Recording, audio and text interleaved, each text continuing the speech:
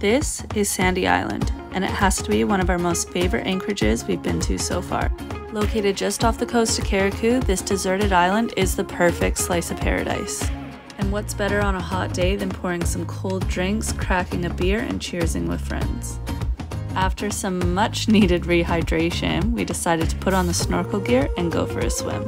It felt really good to hang up the captain's hat for a day and just kick back, relax, and enjoy the island like we were on holidays.